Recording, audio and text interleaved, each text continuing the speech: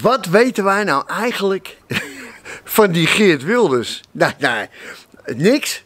Gewoon bijna niks. Nee. Ik niet in ieder geval, nee. Want die Wilders, ja, er zit een enorme muur tussen. Met alleen maar beveiligers en, en, bodyguards en weet ik veel wat. Die, ja, we, zien hem al in de kamer. Zien we hem. Ja, zit altijd op die vaste plek daar vooraan. En dan uh, stemmen voor motie, vingertje omhoog. En, en dan gaat hij dan op dat gestoelte staan daar in die kamer. En dan ging hij af en toe even blazen. Ja, en beledigen.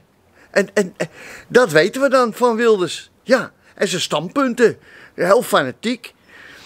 Maar we weten, we, we, kennen die Wilders toch helemaal niet eigenlijk. En nu hebben we de laatste tijd, hebben we hem een beetje gezien op tv. Ja, Eerst bij die, bij die twee beken, maar ja goed, die kan er dus helemaal niks van. die is met een potje afgegaan, die twee beken. Onvoorstelbaar. Eerst met een omzicht, alle hoeken van de studio gezien. En, en toen met Wilders, toen was ze zo mak als een schaapje. Nou, maar, maar hij heeft dus, Wilders, hij heeft dus nu de Vandaag Inside test, heeft hij helemaal doorstaan. Ja, gewoon, daar komt hij met grote grandeur uit. Hij zat daar en hij, hij formuleerde top, kwam heel goed uit zijn woorden.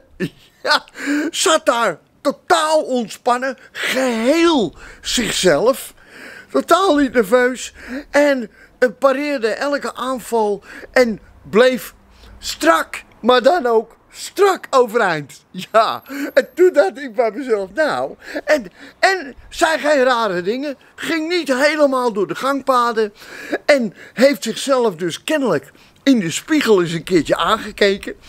Op zijn zestigste, ja, denkt hij bij zichzelf ineens van, hoe is het misschien tijd om een keer iets rustiger te doen en een beetje iets meer normale teksten uit te slaan.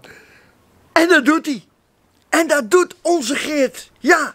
En dan denk ik bij mezelf. Ja, waarom zouden we hem niet gewoon weer eens een keer erbij halen in de regering? Stop hem weer in de coalitie. Ja. Maak hem gewoon minister van Justitie en Veiligheid, want daar valt migratie en asiel onder. Ja, maak hem minister en laat hem dat oplossen.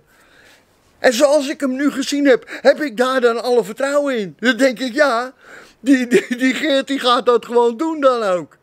Dus ik, ja, als ik het zo bekijk, wat ik de afgelopen dagen en weken zo heb gezien van Geert, denk ik bij mezelf, geef Geert een kans.